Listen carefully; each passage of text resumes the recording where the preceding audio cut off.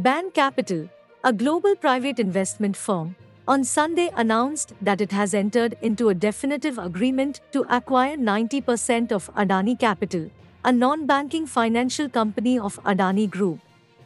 The transaction will buy out 100% of the Adani family's private investments in the company, the firm said, adding that Gaurav Gupta will continue to serve as managing director and CEO.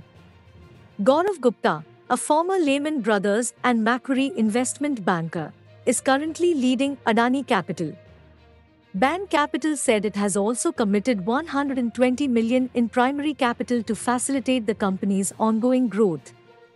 Further, the investment firm said it is also making available to the company a liquidity line of 50 million in the form of non-convertible debentures.